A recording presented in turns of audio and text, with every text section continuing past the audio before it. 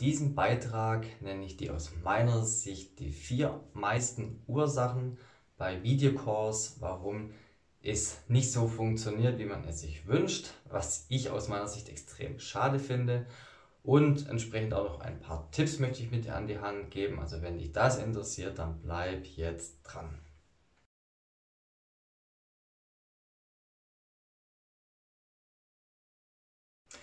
Servus, Sali und Hallo, Hier.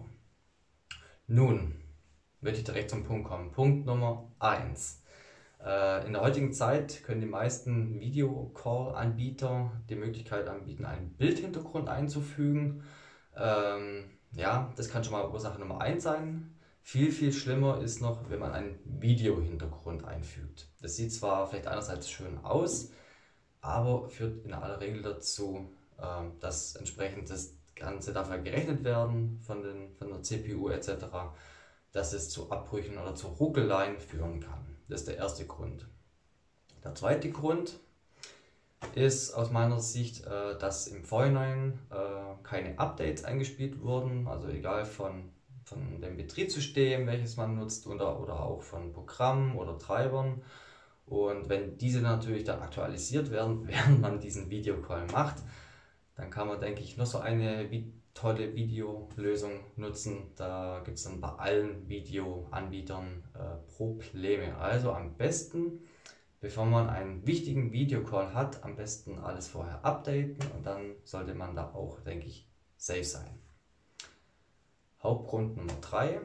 Ich darf sagen, ich bin tendenziell eher ein Jitsi Meet Fan gegenüber dem Zoom. Bin ich jetzt nicht so ganz der Fan aktuell.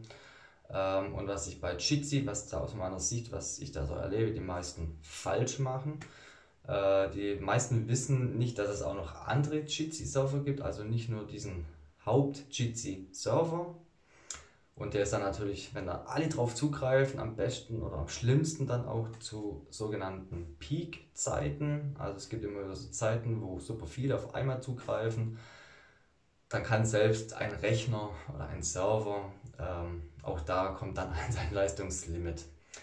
Ähm, ich hatte aber natürlich auch eine Lösung, mindestens eine. Ich werde die unten in der Videobeschreibung verlinken. Von jemand anders finde ich toll. Da wird man, wenn man diese Domain oder diese URL aufruft, dynamisch zu einem Jitsi-Server weitergeleitet, der zu dem aktuellen Zeitpunkt zumindest am wenigsten ausgelastet ist. Also es kann immer noch sein, wenn man zum Beispiel zwei Stunden vorher das aufruft, dass es natürlich dann, dann zwei Stunden später wieder die Situation anders aussieht. Da darf man dann halt etwas dynamisch äh, handeln und sich nicht wundern.